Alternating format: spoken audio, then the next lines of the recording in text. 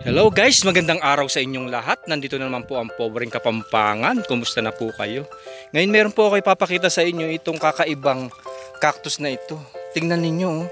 napakalalaking mga ano, tinik. Para siyang toothpick. Para siyang mga karayong. Ang lalaki oh. Talagang kapag may mga pumuntang insekto dito, tusok-tusok yung pinakita ko po nung isang araw sa inyo, yun naman yung prickly first cactus. Ito naman ito, succulents rare cactus naman ito. Bihirang bihira lang tong cactus na ito. Nakita ko lang dito sa lugar namin. Dito sa Kingdom Saudi Arabia.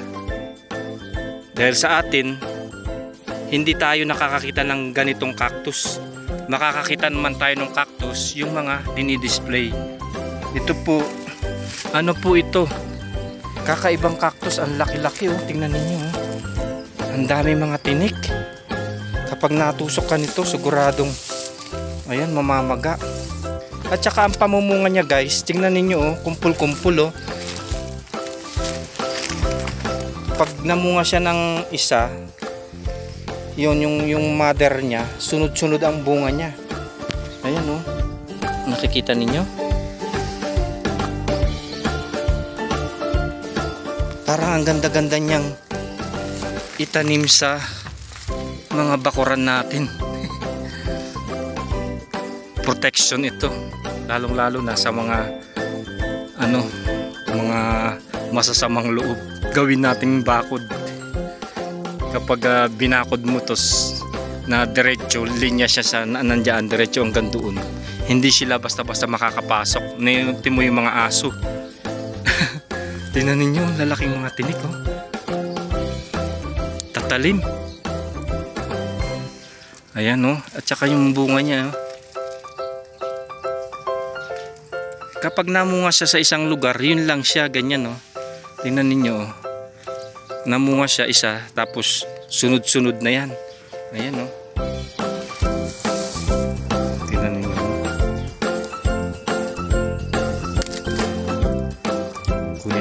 Ano bunga niya ibibini natin. Ayan.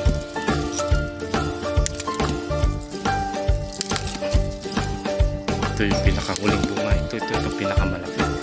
Yan ang gagawin pinakabini yan yan baka matusok ako.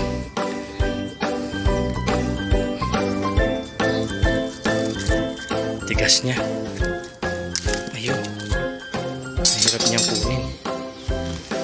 Dapat meron kang ano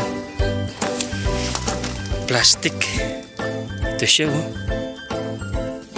para siyang kasing laki ng sayote. Ayan meron na akong ilang piraso. Kukuha pa ako ng isa para gawin natin binhi.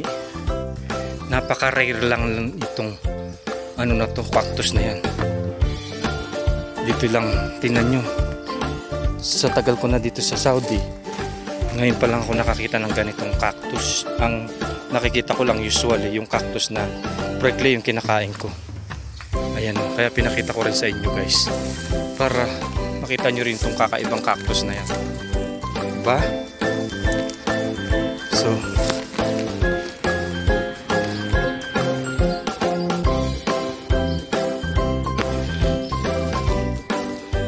So ayan guys, nakita ko lang po itong rock succulents cactus na ito, itong kakaibang cactus na ito. Rare talaga to, walang walang masyadong cactus na ganito. At isa lang itong puno na yan. Ayan. O sige guys, maraming maraming salamat sa inyong panunood. Sana mag-enjoy po kayo sa mga lahat ng video na ina-upload ko. Pobreng Kapampangan and click the bell button notifications para updated po kayo lahat sa mga video na ina-upload ko. Happy weekend po!